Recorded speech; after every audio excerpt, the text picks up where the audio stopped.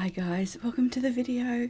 Today we're going to do a little bit of a tour of some plein air palettes and some tips that I have gathered kind of along the way.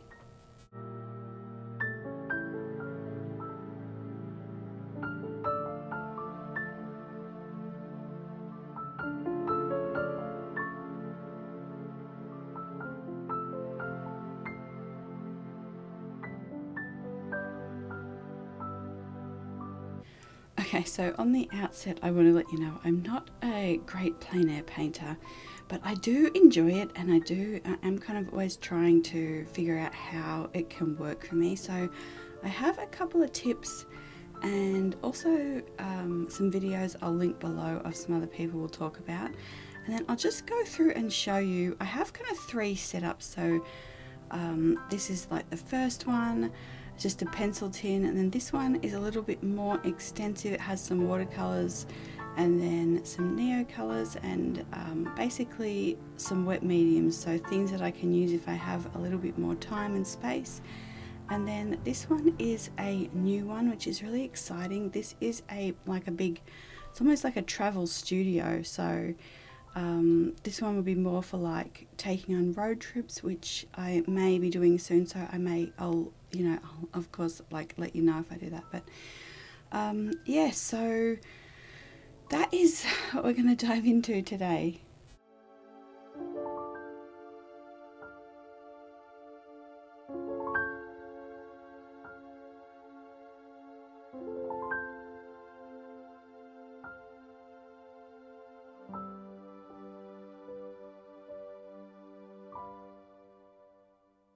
Okay, so this first setup I have, this is tried and true, this really works and I really enjoy this one. This is just very simple, it's a moleskin sketchbook and then just this pencil um, packet. So this is like a Conte Paris, this was 12 pastel pencils and you can see that I've kind of double stacked pencils there to get more in the tin. And so I will just take this little setup uh, if I'm like in a waiting room um, yeah, and it works perfectly. Like I can just pull out a pencil, pop that back in my bag, and then just have this uh, one notebook on my lap. And yeah, I, I've really enjoyed this. So this kind of come, this is just kind of a constant. Like I put this, um, you know, book and pencil case in my bag wherever I go. So then I just have something that I can just uh, pull out and at a moment's notice, and it's it works really really nicely. So there's often, like that page, there was a pattern on the rug. Um, yeah, just different things. And then the moleskin as well does take wet mediums, which is, it sort of gives the paper quite a nice texture as well. So um, then I pulled this sketchbook, sketchbook out just so that I can show you um, the pencil, the actual what's in this pencil tin. So I've shown this before, I think in the um, 2023 like the yearly goals or something like that. Um, but I just wanted to uh, put it here so it's all in this video and it'll just be the uh, pencils that I use in this pencil tin. Um, and you can see here as well this is a sketchbook. I don't show that often on the channel but I do like to pull it out if I just want to um, if I have a few minutes to sketch Lately I've just been kind of going back over some things with uh, gold, the gold Winsor & Newton ink and dip pen as well. So this is a page that I showed in the other video but you can see this, the kind of pencils that I've used there swatched and they're just some of my favourite pencils. I have used them for quite a few years and I really enjoy them. And then I also sometimes take this little supplementary pencil tin and that's just filled with a few extra, you know, just extras that don't fit in the other one. And that kind of changes out um, depending. But yeah, so that is, um, that's something I definitely recommend. Just even one pencil and a notebook is really useful um, in situations where you have to wait for quite a while. And then, so this one here is kind of a new one. We've been doing a few videos about this setup and I've been really really enjoying this one so this has been mostly taken out in the garden and on the patio and just kind of uh, trying it but you can see I have this little um, Whiskey Painter's cup. This is has been really useful and um, yeah, I really enjoy it. So it does come with this lid and I guess it's got like a keychain attached to it so you can kind of clip it onto something. Um, but I just generally leave the lid and I'm just taking the cup part. Um, so I have this tiny Delfonics pouch. It's the extra small, so it's actually quite small. And it just fits these things quite nicely. Um, so I have my uh, Sennelier travel palette, which I have a couple of videos about. I've swatched, I've swapped a lot of the colours out. And then I have the Art Artgraf, and then I have the the whiskey painters the cup. And then I can I just put the little pouch in there so I can use that to clean my brush while I'm painting like to wipe the excess water off and things. And then I can also fit the tin of Neocolors in there as well. So you can see that this doesn't um, close. Like it won't zip up when this when the Neocolor is in there but I don't mind that I just want this to kind of sit next to me and I can grab things in and out so I'm not trying to um, I'm not worried about things falling out. And it's just a really compact, compact kind of way to take things. And yeah, I, I just prefer that rather than having like a bigger um, pouch. Um, so let's see. So you can see this is kind of the setup when it's all taken out. We have couple of um, travel brushes as well. These are my favorites. So the gold one is the Escoda Reserva. It's 1214 series and just a beautiful brush and then the black one is the Da Vinci uh, 1503 series and again just they're both really really lovely brushes so yeah and then you can see with the Neocolours, one of my favorite favorite ways to use them has been dipping them in the cup of water. And I'll show you this later in the video as well but you get such a beautiful line. And you know if you're using a pencil it takes a lot more work to get that kind of amount of um, line and coverage. So I really enjoy it for that. I really like uh, when it's wet and the um, just how it lays on the paper. So yeah so then everything just folds back up and it's very just easily packed away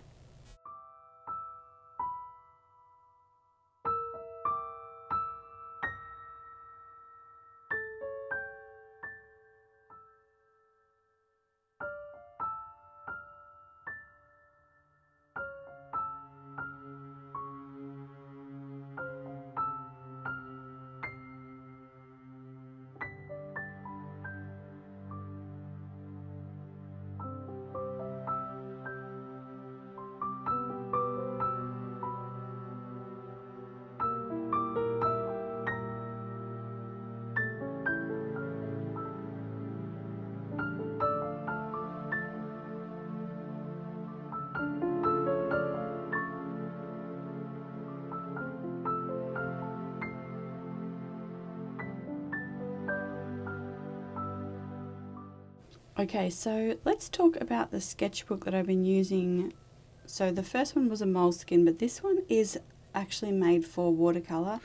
So it's the handbook sketchbook, I think that's what it's called, and it's the watercolor edition. So it has like the blue, um, like cover, like the little paper on the cover, um, not the red one and so it's a thicker paper. It's 300 GSM so it doesn't warp um, when you're using it. And the other thing that I like about this um, so this is not cotton paper so um, you know you're not going to get the sort of same like absorption as the cotton paper uh, but you get just it what, what it does do is it's um, it dries very quickly so you can kind of do what you need to do.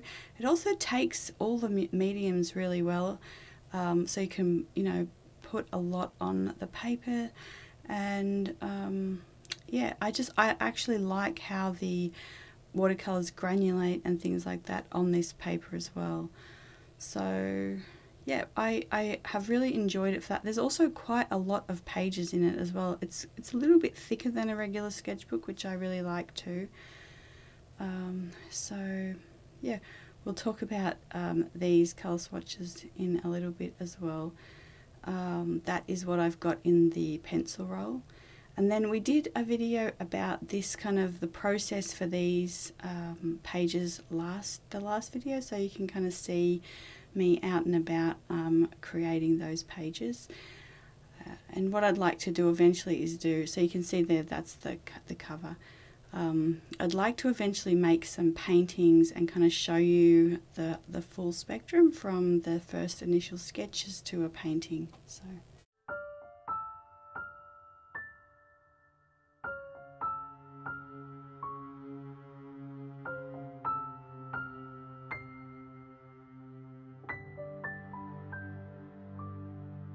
Okay, so this is a new pencil roll. So this is more like a um, travel roll, uh, or like it's kind of almost like a compact little studio.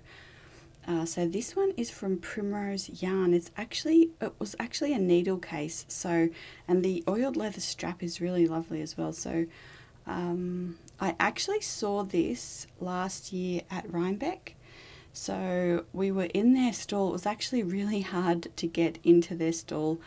Um, there were like a few stalls where there was just people, and it was just crazy trying to get in there. Um, this was one of them. So, but as we were waiting in line, they had these just near the um, near the cash register, and yeah, they, it was really beautiful. I actually saw the one with they have different like colors. So I saw the one with the black exterior and the yellow ochre interior, and it was really really lovely. So, but I settled on this um, this one, and you can see because uh, it's made for knitting needles, so you've got like you know not that much room there.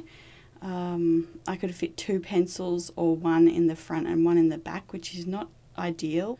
So uh, what I did is I took a quick unpick, or I think in America they're called seam rippers, and I just unpicked a few of these lines of stitching so that I could fit more pencils in there. So um, that you can see kind of I left like every second one uh, and then I kind of unpicked the next one. So basically all that is is you just kind of pop the little the, the um, sharp part there underneath the thread and then you can just pull that out. So it does take a little bit of fiddling it takes a little bit of time um, but it, it, it, was so helpful. Like I really really enjoy um, you know and obviously if you're using it for, as a needle case you know you, you can squeeze the needles in like they're quite small so you don't um, need to do this. But I really liked just the size and just everything about this. So I wanted to use it for obviously for pencils and for art things. So you can see there it's pretty easy. I've just pulled those out. I'm just trimming off any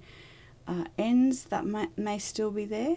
And then I have this really lovely kind of open space there where I can fit all these pencils in and everything that I had hoped and kind of wanted to um, be able to put in there. Now I can.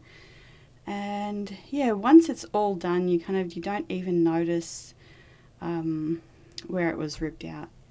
So yeah, you can see there like how many then I can get like four across, five across. In that big pocket there, I've got like six or seven across. So, and I'm able to fit that, that many in the front and the back. So I can fit a lot more in there now, which is exactly kind of how I imagined using it. So yeah, I really, really love it.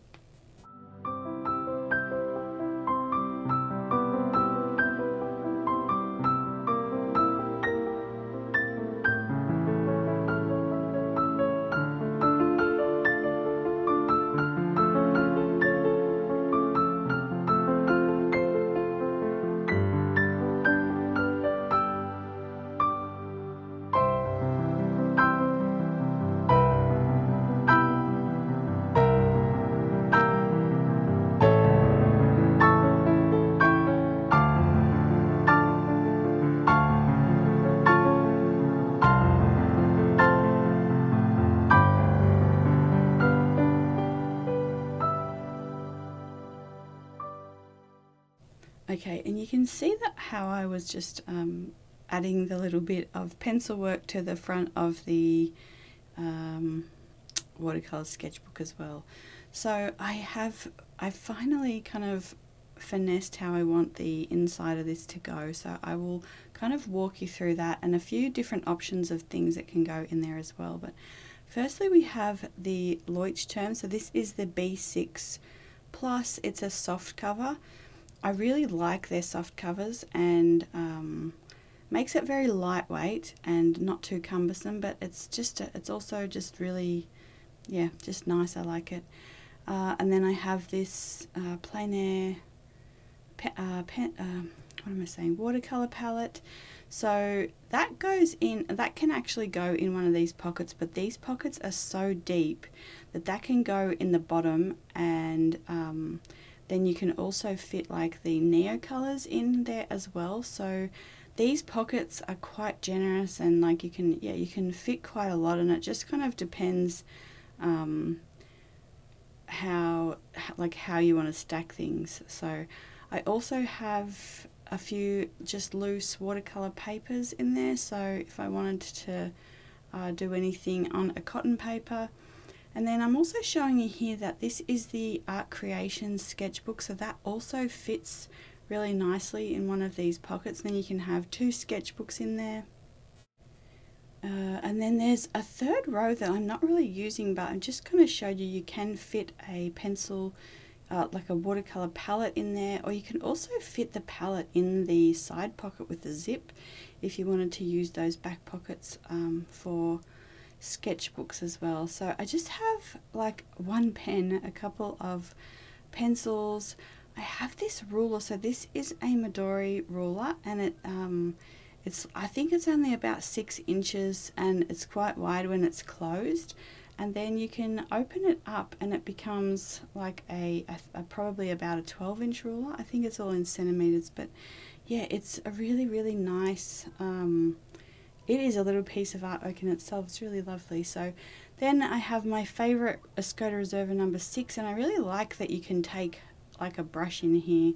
And then I just have a couple of the Da Vinci travel brushes. So the one with the white writing, that's actually a nail brush, but yeah, I think it's just the same thing. So, and yeah, so I won't go through like and swatch all the pencils, but I'll just show you a swatch so you can kind of see those.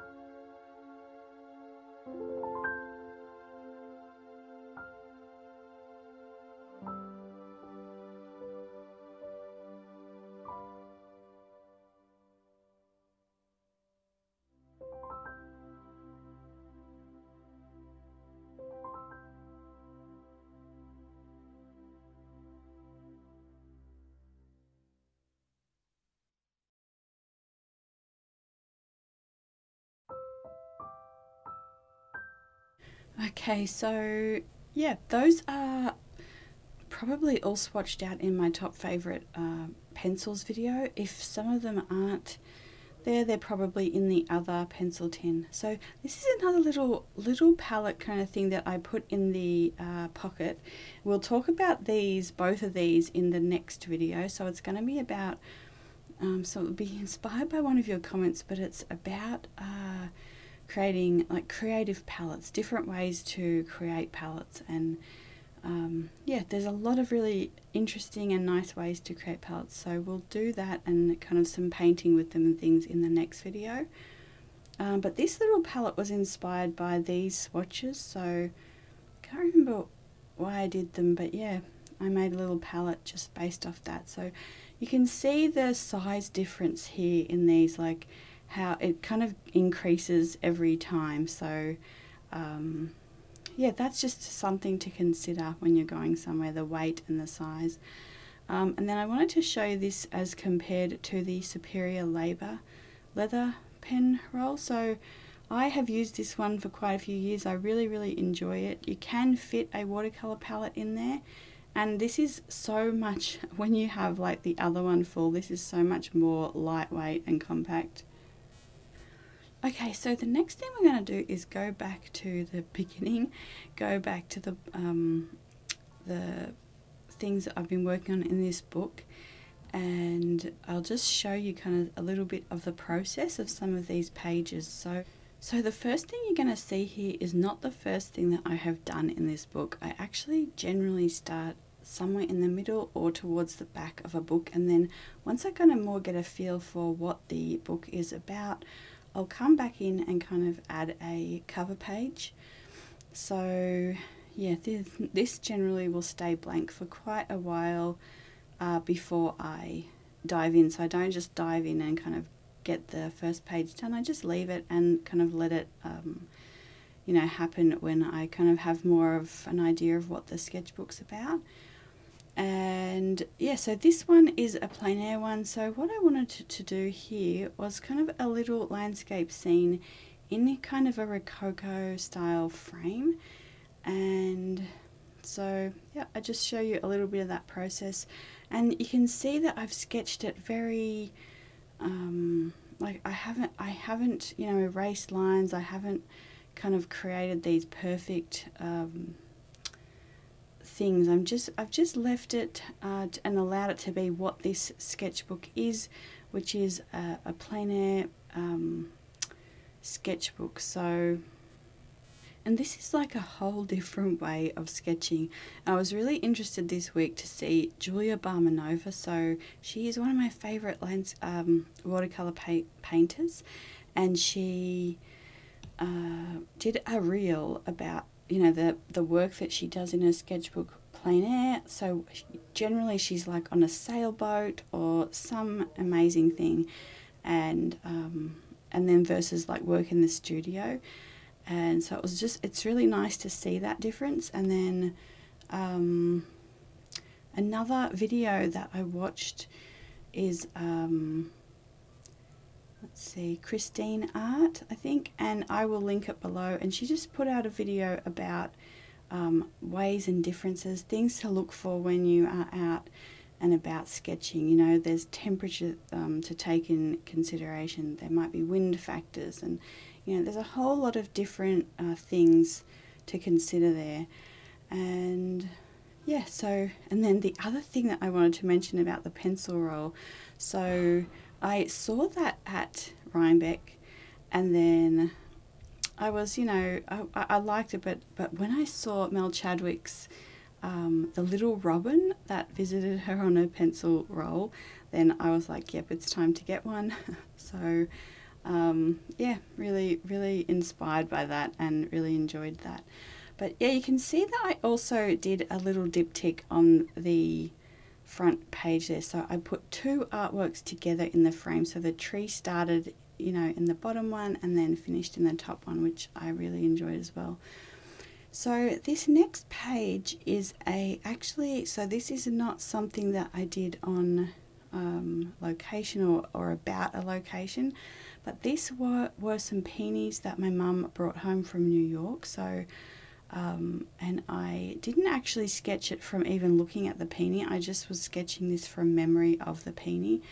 And um, basically, one of the things I have been trying to do is to practice things that I might encounter or things that I might want to paint on location and just getting a little bit of practice in with the materials that I have uh, for that and also the subjects that I want to paint on location so that I already have a little bit of kind of stored up memory about how to paint them or um, you know when I'm not kind of pressed for time or pressed for just in that kind of intense moment um, that I can kind of draw on this like the memory of some of these um, different things. So this next scene, I painted this. Um, this is actually when we come out of Whole Foods, they have, or like one of our local Whole Foods, they have um, some umbrellas and kind of a setup for where you can eat. And I always love them, so I painted this page with them open, one, and then I painted the next page when they're closed at night or when it's raining. Um, and I forgot to insert, I do have like a little bit of footage of these like both scenes, but I'll, actually try and put some photos on my blog and I'll leave a link to that. But yeah, so it's just a really nice, like I always love walking past there and kind of seeing that. Um, we never really sit there, but yeah, it's just a nice um, thing to kind of to kind of see there. And I've also really been inspired by Sandi's coffee um, coffee shop sketches on her Substack as well. So yeah, so that is that. It looks a little bit like Christmas, but um, I didn't mean it to. So um, and then, yeah, this one is kind of more of an evening scene.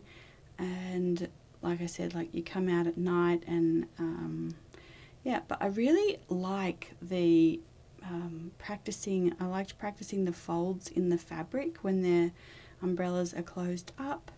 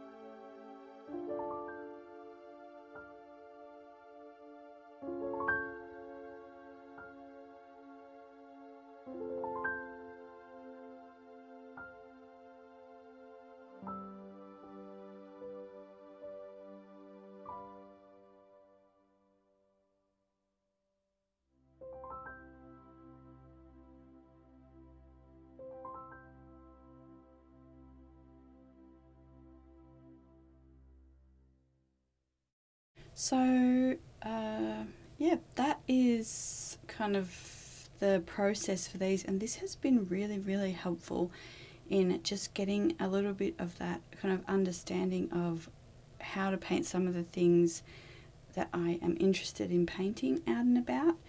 And so you'll be seeing more of this, like, you know, out and, and kind of on location. The other thing is um, even just taking these things and like sketching in your car. Um, yeah, so anyway, let's see.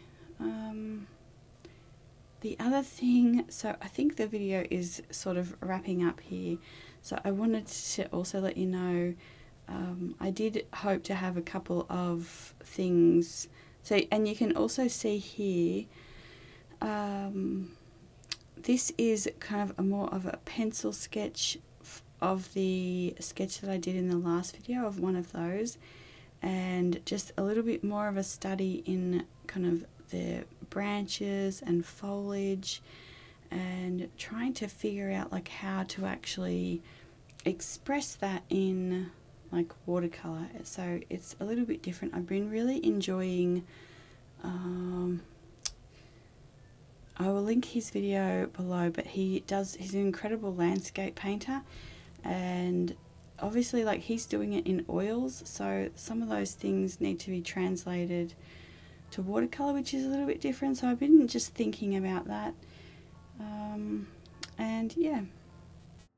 But what was I saying? Um, yeah so I had hoped to have a couple of announcements this week but um, yeah I'm, I'm a little bit closer to having that done but still this year seems to be going very very quickly and yes, just trying to get it all done. Um, anyway, so I hope you've enjoyed uh, the this video, and then I'll also show you at the end um, the.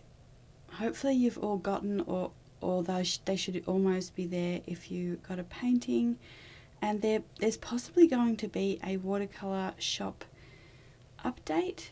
Uh, I was hoping for today, but hope maybe. Um, yeah, the, in the next few weeks there should be uh, a little update. It won't be a large one, but just a small one. So um, that is all for today, guys. I hope you enjoyed it, and um, yeah, I will see you in the next uh, video. Bye.